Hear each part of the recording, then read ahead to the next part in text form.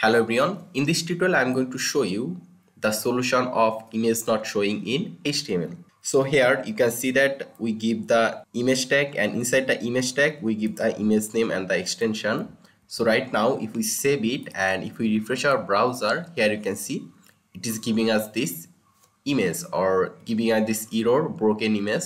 So in order to solve this what we have to do is that first of all you need to check your image name if you write your image name properly and you write the image extension properly. So for it what you have to do is that check your image name if you write the name properly and check it with your code. After that you need to check the extension. Over here you can see i write the extension dot png and you need to check your image extension. So for checking your image extension what you have to do is that you need to right click your image then click over here properties option.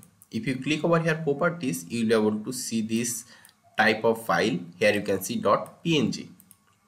So you need to make sure that those two are okay.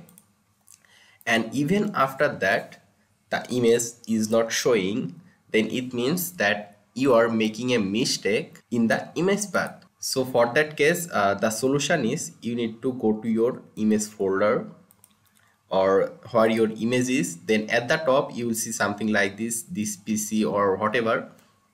Then all you have to do is that just click over here and select everything and then press ctrl and c. It will copy this part and then go to your code and then just i'll just remove this source for now and i'll just paste it over here which i just copied from here. Okay which is this one. Then I'll just give a slash and then I'll write the image name which is nature.png so right now if I save it then if I go to my browser then if I refresh over here we can see the image properly.